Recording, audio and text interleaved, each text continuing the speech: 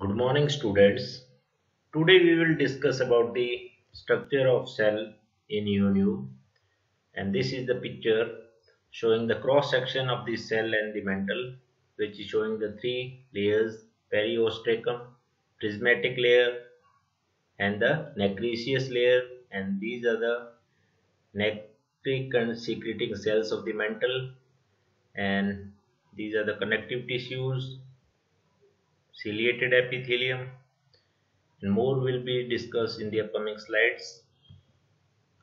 Myself Dr. Balram Sain, Assistant Professor in Zoology, Government Dungar College, Bikaner.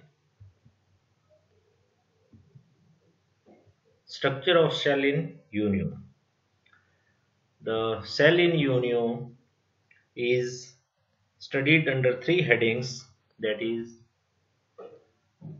the structure of cell from outside structure of cell from inside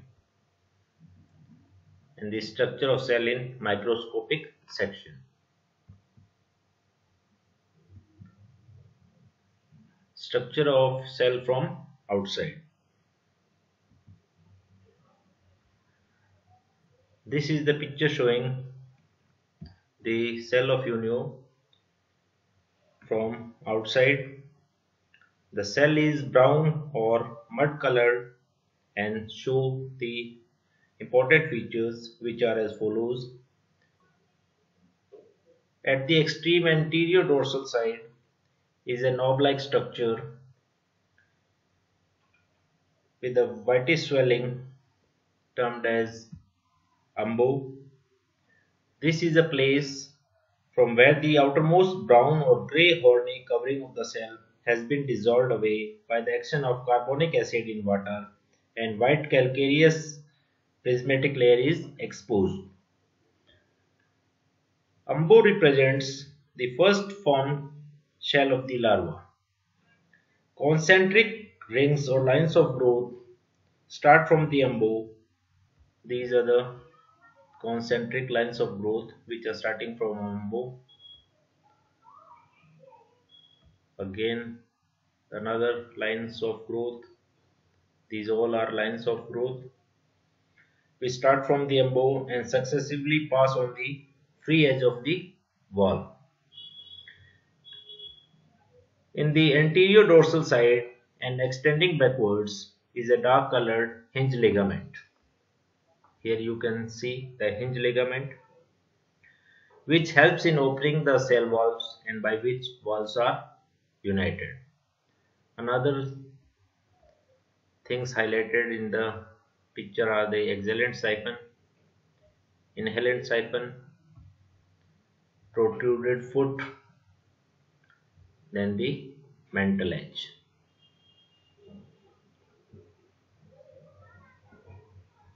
If we talk about the structure of cell from inside after removing one of these cell walls a few conspicuous markings the muscle impressions are seen on its inner pearly surface which will be more clear by the picture. Toward the towards the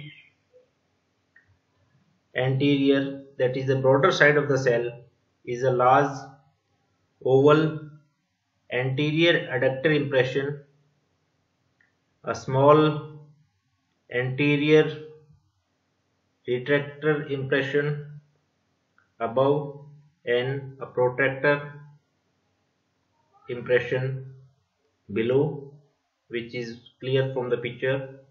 Similarly, but only to and towards the posterior end are the posterior adductor here you can see the impression of the posterior adductor impression and posterior retractor impression.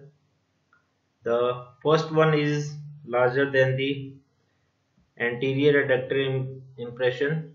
You can see the posterior adductor impression is larger than the anterior adductor impression. Running in between the two adductor impressions and parallel to the edge of the valve is a thin shallow pallial impression or the pallial line. Here you can see the pallial line running. And faint lines may be seen to converge from the muscle impressions to the umbo indicating gradual shifting of the body and muscles away from the umbo as the animal grows in size with the age. Next is the structure of Unio cell in microscopic section. This is a picture showing the cross section of the cell and mantle in which different layers we will be discussing. In the section, the cell has three layers an outer brown horny layer, the periostracum, this is the periostracum, which is protective and is made up of horny organic material called conchiolin. Below it is the middle layer, this is the middle layer, is a thick prismatic layer made of vertical crystals or prisms of calcium carbonate separated by conchiolin. The innermost nacreous layer is or commonly termed as the mother of pearl is made of alternate layers of calcium carbonate and conchiolin. Here you can see alternate pattern in the nacreous layer. The hinge ligament is made of uncalcified conchiolin and it is continuous with the periostracum. Reserved calcium carbonate for the two inner layers of the cell is stored in certain cells of the digestive gland. The nacreous layer is thickest at the umbo. This is the nacreous layer which is thickest at the umbo and thinnest at the cell margin.